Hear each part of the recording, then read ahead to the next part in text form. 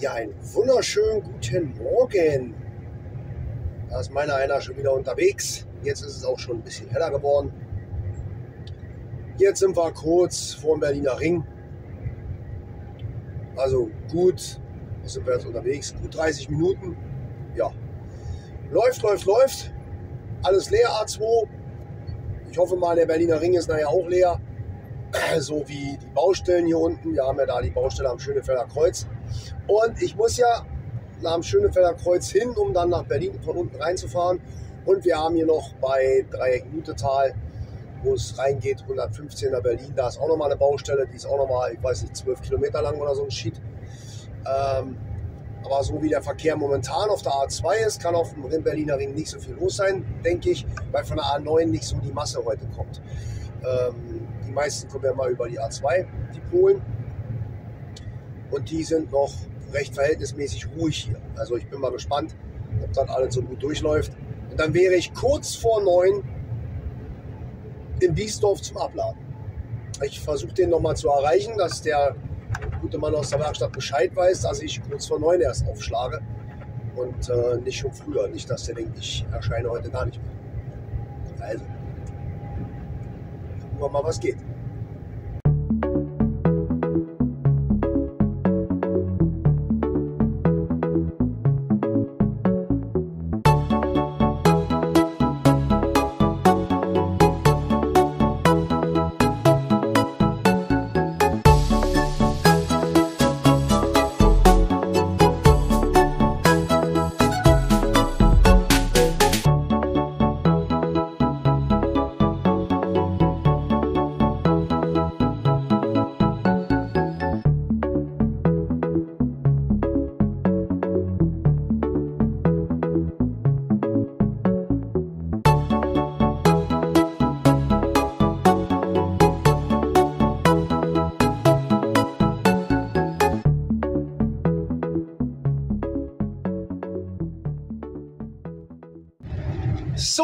Kommen wir mal von unten rein nach Berlin. Hier haben wir Waltersdorf mit Höfner und äh, Ikea und so ein Krempel. Hier bauen sie gerade wieder neue Hallen. Da wird wohl wieder ein Gewerbegebiet geschaffen oder sowas in der Richtung. Und hier gab es früher mal eine Raststätte. Links und rechts. Das ist schon seit Jahren alles Brachfläche, alles kaputt, alles tot. Weil man hier diesen Autobahnzubringer von Berlin raus zugemacht hat. Hier nur noch einspurig eine Brücke weggerissen hat. Also man hat das hier von der Autobahn im Grunde genommen zu einer Landstraße umgewandelt im Einbahnstraßensystem. Hier haben wir noch die Metro, die habe ich früher auch im, im Fernzug beliefert, immer von Berlin aus vom Großmarkt mit Gemüse. Tja, und das war meine Esso-Tankstelle und auf der anderen Seite gab es das auch nochmal. Es verfällt alles nur, alles leer, alles Schrott. so, geht das hier langsam bergab. Die Fahrschule ist auch hier zum Üben. Aber wie ich sehe, bauen sie jetzt wieder eine neue Brücke hier. Na, ist ja erstaunlich. Jahrelang haben sie hier die Brücke weggerissen und weggelassen, jetzt bauen sie eine neue. Hm. Wollen sie jetzt vielleicht die Autobahn doch wieder anschließen nach Berlin, wenn sie mal irgendwann fertig sind? Mit der anderen, die sie durchziehen wollen? Ich bin mal gespannt. Auf jeden Fall bauen sie hier neue Abfahrten. Scheint interessant zu werden. Mal sehen, wo das dann hingehen soll, weil hier unten sind ja Gleise. Möchte mal wissen, was die hier für einen Anschluss machen. Oder das wird nur ein Anschluss für, das, für die Halle da drüben, für das neue Gewerbegebiet. Wer weiß das schon. So, jetzt sind wir schon mal in Berlin drin. Hier hinter haben wir Häuser. Links, rechts, das nennt sich Bohnsdorf hier unten. Gehört zum Bezirk äh, Treptow-Köpenick. Und jetzt kommen wir hier gleich auf die 96a die dann eben in die Stadt reingeht, wie man hier sieht, Friedrichshain, aber eben auch, äh, wo man dann abbiegen kann Richtung Köpenick rüber. Und in die Richtung wollen wir erstmal, weil wir zur Wuhlheide rüber wollen. Und dann fahren wir noch an der Trabrennbahn vorbei. Da hinten noch die Häuser. Jetzt sieht man sie nicht mehr von Schönefeld. Da, das ist also noch Bohnsdorf hier. Und jetzt kommen wir runter auf die 96a und fahren mal rein. So, jetzt sind wir auf dem Adlergestell und hier von rechts kommt jetzt gerade die Zusammenführung rein Das ist die Strecke, die unten aus Schmöckwitz rüberkommt, wo man dann auch runterfahren kann nach Wildau und Erkner und so eine, so eine Geschichten. Ja, also praktisch weiter im Süden runter, wo es dann immer grüner und weltlicher wird. Ja, und das Wetter, naja, wir gucken mal. Vorhin sah es ja nicht so schön aus, da sah, ja von, sah es aus, als wenn von Osten grau kommt. Aber jetzt haben wir erstmal da vorne wenigstens blauen Himmel. Mal sehen, wir müssen ja Richtung Norden. Mal gucken, wie es ausschaut. Also, Norden, naja, Osten ist das ja, ist ja liegt ja östlich von, äh, von Berlin. Liegt ja schon wieder auf der B1, B5. Ja, hier sind wir dann mal auf dem Kliniker Weg und hier drüben das Gebäude, das ist mal Berlin Chemie. Hier vorne war die Einfahrt. Äh, Berlin Chemie, da hätten wir, hier ist auch nochmal eine Einfahrt, aber da vorne war die LKW-Einfahrt. In meiner ersten Firma oder in der Firma, wo ich dann im Fernverkehr äh, war und zehn Jahre unterwegs war in dem Unternehmen, wo ich auch die Disposition mal gemacht habe und einige andere Geschichten, hatte ich ja mal erzählt über meinen Werdegang. Ähm, da hatte mein Chef mal eine Anfrage, ob wir für Berlin Chemie mit Medikamente nach Baku fahren würden, mit zwei Lastzügen. Baku liegt ja am Schwarzen Meer. Wäre natürlich interessant gewesen, aber leider war dann das Angebot zu teuer. Und das war in den 90ern. da waren wir schon zu teuer. Schade, wäre bestimmt eine interessante Geschichte geworden. Und dann ist der Baku, das wäre echt cool gewesen. Oh, Diesel 1,47. Na Leute, die Preise senken sich ja ein wenig. Es wird etwas günstiger. Nicht billig, aber günstig. So, jetzt haben wir hier die Schnellverbindung, sage ich jetzt mal, äh, über Spindlersfelder Straße von äh, der Kliniker hier rüber nach der Wuhlheide. Das hat man hier alles mal komplett neu gebaut, dass man hier jetzt quer rüberfahren muss und der, die nördlichen Brücken halt damit entlastet wurden und man nicht immer über Köpenick fahren musste, um dann über die Wuhlheide wieder rauszufahren, hat man hier so eine Umgehungsstrecke gemacht oder eine Ausweichstrecke, Entlastungsstrecke, wie man es halt nennen will. Die haben so schon wieder Schilder mit Umleitung, Bahnhof Köpenick. Nee, da wollen wir nicht hin. Alles klar. Gut. Ähm, dass man halt hier schneller mal runterkommt. Ja, zum, zur Wuhlheide. Hier mal die Spree.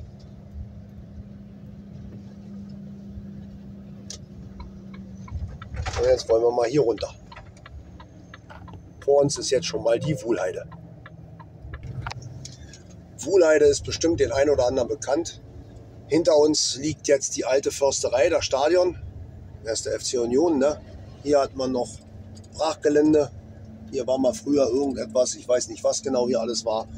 Und weiter vorne kommt dann der Volkspark Wuhlheide. Hier haben wir noch ein Reisemobil. ja, äh, die haben sie auch alle neu gebaut, die ganzen Häuser hier. Also hier hat sich auch vieles verändert auf der Wuhlheide. Hier ist vieles, vieles neu geworden. Ein bisschen Wald haben wir hier halt noch und dann kommt nachher eben hier der Volkspark.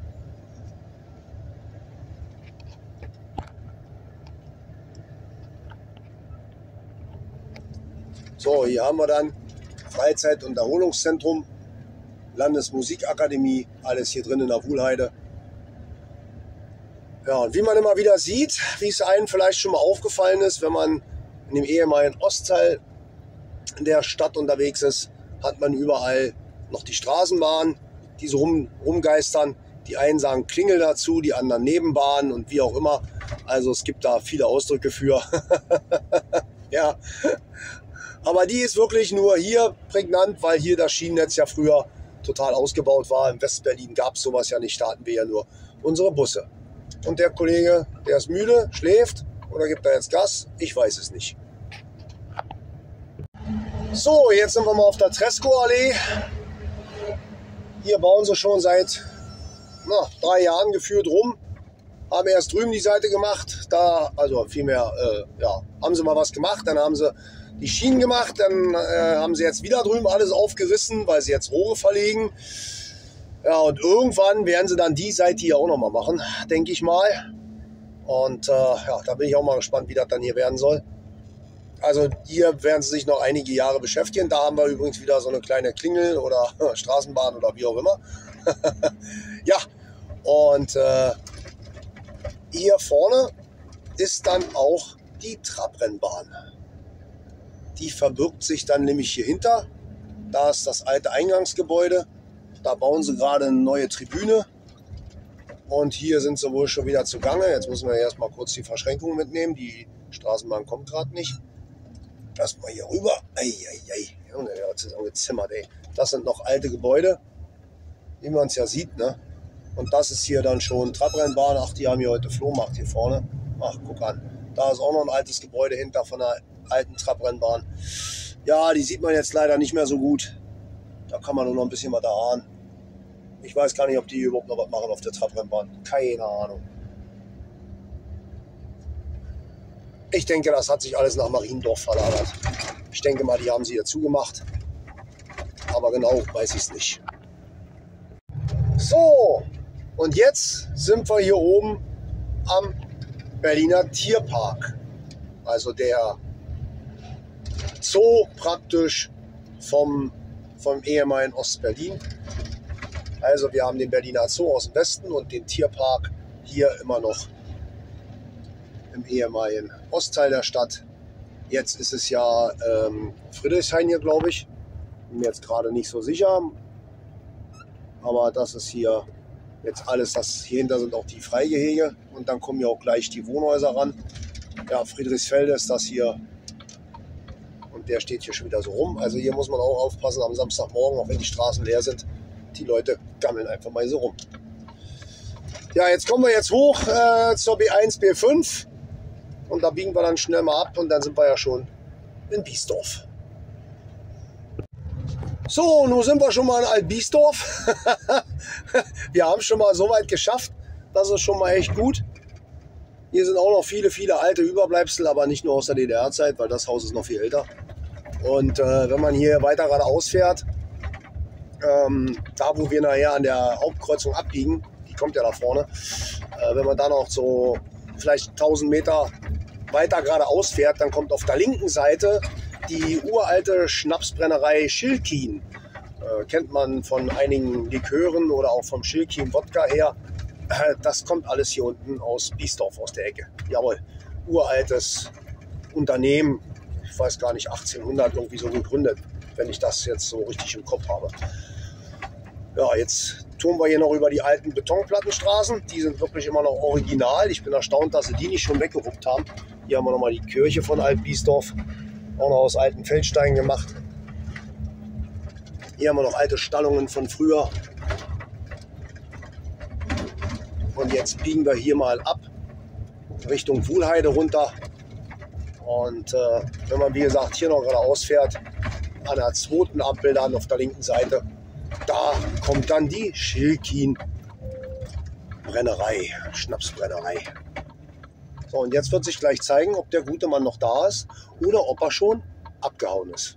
Ich bin gespannt. So, und da sind wir dann mal wieder. Wir haben schon wieder auf der linken Seite das Netto und genau da sind die Feuerwehrfahrzeuge und genau da wollen wir rein. Vorne das Tor ist zu, das hat man mir schon gesagt. Das Tor hier ist auch zu. Scheint wohl so, als wenn er schon weg wäre. Ich bin gespannt. Wow, wow, wow. Eieiei, immer diese Verschränkung hier. Nein, das ist offen. Ach, wunderbar, dann ist er auch noch da. Ach, dann haben wir ja noch mal Schwein gehabt. Ich hoffe es jedenfalls. Ich glaube nicht, dass sie das Tor so offen lassen. Kann ich mir nicht vorstellen. Aber jetzt ist hier heute natürlich alles mit PKWs zugeparkt. Das ist natürlich echt blöd. so, na gut, dann gehen wir mal gucken. Tja, Leute, hier nochmal die Fahrzeuge. Die habe ich ja noch nicht gezeigt. Einmal der Fiat Ducato 2.8er Diesel, Sauger, Allrad, echter Allrad. Könnt ihr gucken, da ist die Antriebswelle. Jawohl, Kardanwelle. Und hier hinten haben wir die anderen Antriebswellen. Also, Differential, ein echter Allradler, habe ich gar nicht gekannt. Und hier haben wir den alten 407er Vorgänger vom Vario, Standard, nichts mit Allrad, stinknormal. Aber schwer sind sie beide. Aber der ist cool. Als Allrad hatte ich nie auf dem Schirm. Nicht schlecht. So, und jetzt werde ich abladen. Der gute Knabe ist noch da. Ja, Leute. es hat mal, ich muss das wieder runtermalen hier. Es hat mal wieder funktioniert. Die Rechnung ist aufgegangen. Ich bin den ganzen Krempel noch losgeworden. Oh, das war jetzt wichtig, weil das ist jetzt für Montag wichtig. Aber dazu komme ich ja erst am Sonntag, also sprich morgen. Ähm, da werde ich dann die Auflösung raushauen, warum das heute auf den Samstag noch runter musste, warum ich die Fahrzeuge noch zustellen musste. Das hat alles so einen bestimmten Grund. Ja, aber den erfahrt ihr morgen. Jedenfalls bin ich den ganzen Krempel los, bin glücklich, alles ist gut, wunderbar. Ach, es könnte nicht besser sein. Der Freitag war schön und das Schlusswort schmeckt dem einen oder anderen vielleicht nicht. Das ist mir jetzt aber auch egal. Damit müsst ihr leben oder auch nicht. Aber der Samstag hat die Woche nochmal getoppt. Das heißt, ich hatte Mittwoch, Donnerstag zwei völlig verkackte Tage. Dafür hat das der Freitag und der Samstag wieder gut ausgebügelt. Und wenn es jetzt so wackelt, ich habe hier wieder Betonstraßen. Tut mir leid. ja. So, jetzt geht es Richtung Heimat. Jetzt kämpfen wir uns auch durch die, durch die Stadt. Hier ist ja noch ein bisschen entspannter. Mal sehen, je mehr, je mehr wir Richtung Zentrum reinkommen, also Reinickendorf, Wedding, da oben, Bornholmer Straße, umso voller wird es werden. Denke ich mal. Jetzt werden wir noch eine Stunde brauchen. Dann ist es 11, 10.30 Uhr, bis ich dann mal am Stellplatz bin. Noch nicht zu Hause, nur am Stellplatz. Bis nach Hause muss ich auch noch. Dauert dann auch noch mal einen Moment. Aber so ist es halt. Das sind manchmal die kleinen üblen Dinge an diesem Beruf. Aber den haben viele andere Berufe auch. Denn es ist ja nicht alles Gold, was glänzt. Und wenn man den Beruf lebt, dann hat man damit ja gar kein Problem. Außerdem ist Samstag ein ganz normaler Arbeitstag, zumindest für die meisten ein halber Tag. Abgesehen jetzt Polizei, Feuerwehr, Krankenhaus, Busfahrer, unser einer, die haben immer volle Tage. Oder samstags kann man ja auch einen halben Tag machen, wenn man möchte. so, jetzt erstmal ab vom Osten der Stadt in den Nordwesten der Stadt. Einmal durch. Ja. So, hier vor uns haben wir dann mal wieder, wieder mal die Schönhauser Allee. Wenn man jetzt nach links fährt, kommt man zu dem legendären Imbiss Konopke. Legendäre Currywurst. Uraltes Familienunternehmen.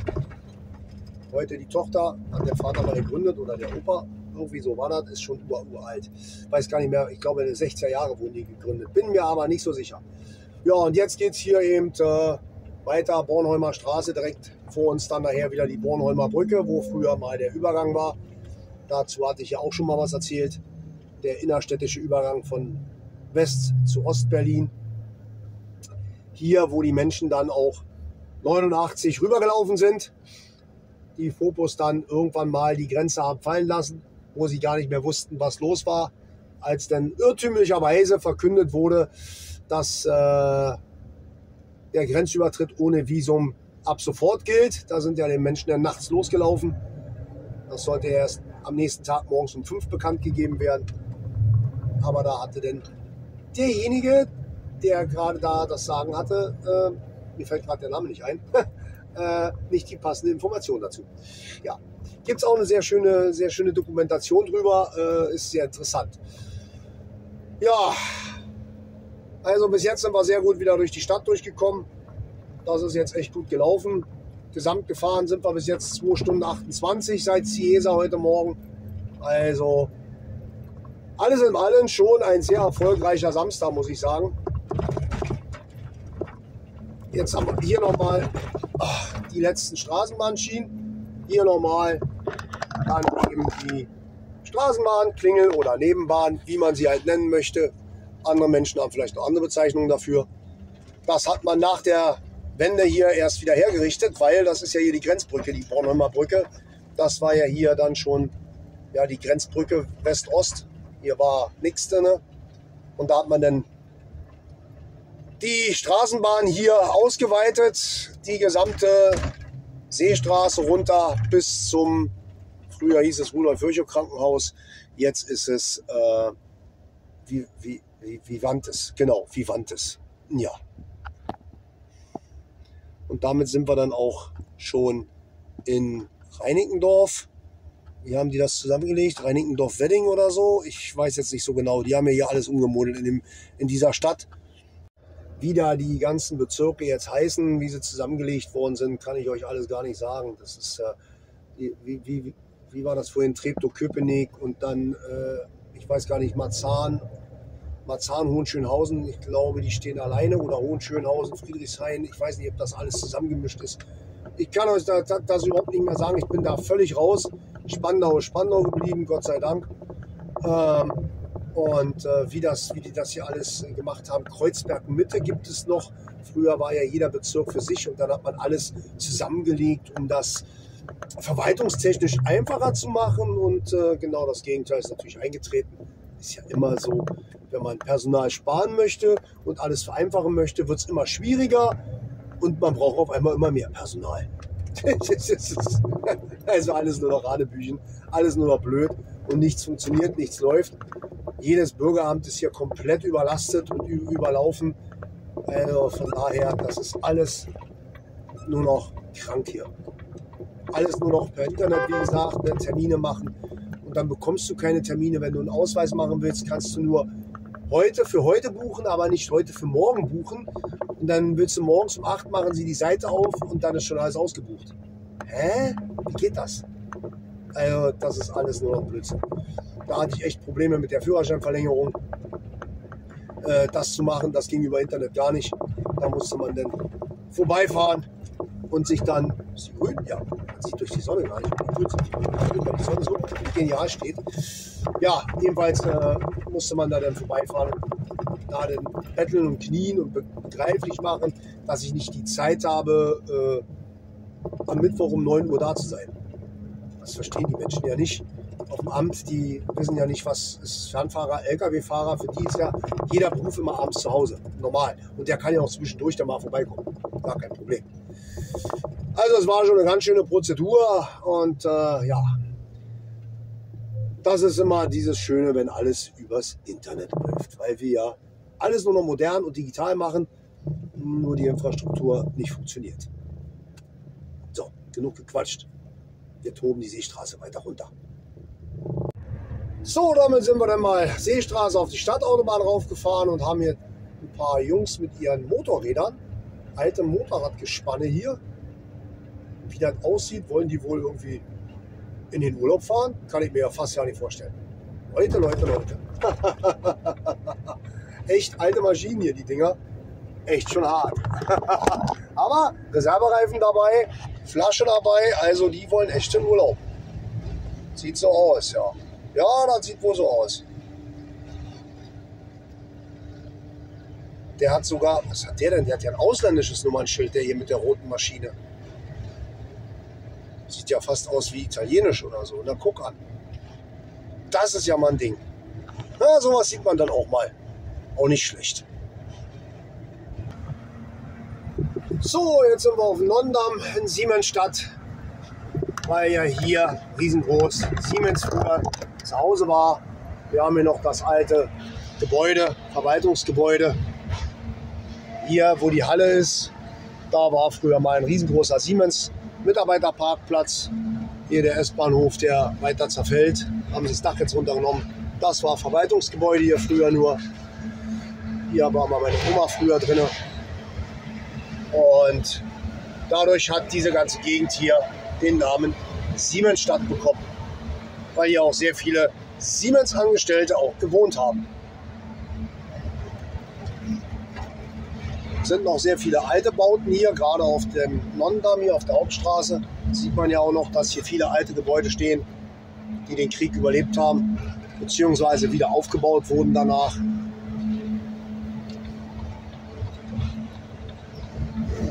Haben wir noch Siemens Turm, also Siemens erstreckt sich auch hier hinter noch, na, die ganzen Gebäude ist einmal riesengroß hintenrum am äh, Rohrdamm lang, Fürstenbrunner Weg. Ja. War schon ein Riesenareal. Auch hier vorne, hinter der Kreuzung, geht es dann weiter mit Siemens. Hier wurden oder werden noch, ich weiß gar nicht, ich glaube, ne, ich glaube nicht mehr. Hier, wo man das jetzt sieht, da drüben, da links das Siemens riesengroß. Ähm, Das war die Fabrikation für riesengroße Siemens-Trafos, die auf Tiefladern gefahren wurden. Da wog dann so ein Trafo in einer Kiste verpackt 100 Tonnen und mehr. Da kamen also schon richtige riesengroße Schwerlastzüge zum Einsatz, die dann hier nachts immer rausgefahren sind und auch nur alleine mit 5 km/h über die Rudolf-Wissell-Brücke früher schon nur fahren durften durch die hohen Schwingungen. Und das Areal geht jetzt hier vom Nonnendamm bis hier hinter hoch zur Motardstraße und dann hinten die Motardstraße lang. Und im Anschluss finden wir dann noch die Firma Osram. Die haben hier die Neonröhren hergestellt und Glühlampen und allen Krempel. Das ist auch alles lange vorbei. Hier machen sie nur noch LEDs, aber auch nicht mehr so, wie es früher war. Ja, das ist alles hier Siemens.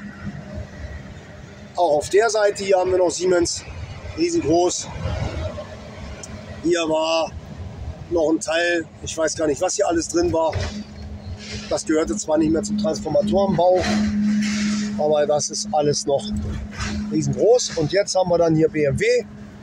Das hat der Mercedes mal verkauft. Äh, Mercedes. Siemens mal verkauft. Und das hat sich dann ja, BMW geholt. Seitdem ist BMW Nefzka hier. Da hinten haben wir das Hochregallager von Osram. Steht auch noch dran. Riesengroß da hinten. Da sind wir ja sonst immer über die Motorstraße hinten dran vorbeigefahren, wo die Gleise gefehlt haben. Das hier ist schon Osram. Entwicklung, weiß der Geier was, Kantine, irgend so Krempel, alles hier drin. Und äh, hier war dann früher die Haupteinfahrt. Hier habe ich im Nahverkehr immer die Verpackung äh, nach hinten gebracht zum Hochregallager. Ja. ja, das ist schon alles uralt und jetzt ist kaum noch was los.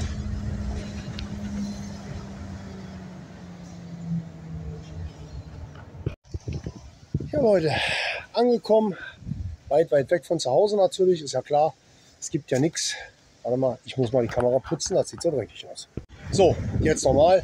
Ach, das ist die Sonne, also noch nicht der Dreck. Ja, also noch weit, weit weg. Ich habe jetzt mein Fahrrad runtergeholt, werde jetzt mit dem Fahrrad nach Hause fahren. Und äh, ja, da geht es dann die Richtung immer geradeaus. da steht der Drahtesel schon fertig gemacht. Ja, also äh, Schilkin wurde von äh, Schilkin Alexandro Drobunic gegründet 1948. Das war ein deutscher Unternehmer aus St. Petersburg. Der hat das gegründet, wurde dann 1971 äh, von der DDR übernommen, also raus aus der Privatisierung, wurde dann ein VEB-Betrieb und dann wurde es wieder zurückgeführt nach der Wende. Wir haben es heute schweinewindig. Windig. Oh, windig. windig. Ja. Und äh, wurde, wurde nach der Wende ihm wiedergegeben. Er hat es dann noch zwei Jahre, äh, obwohl er schon Pensionär war, noch geführt und hat es dann an seinen Sohn abgegeben. Ja, der Mann ist dann auch mittlerweile gestorben. Ich, äh, 2007, wenn ich das jetzt richtig im Kopf habe, ist der Mann gestorben. Ja, war auch glühender SPD-Anhänger.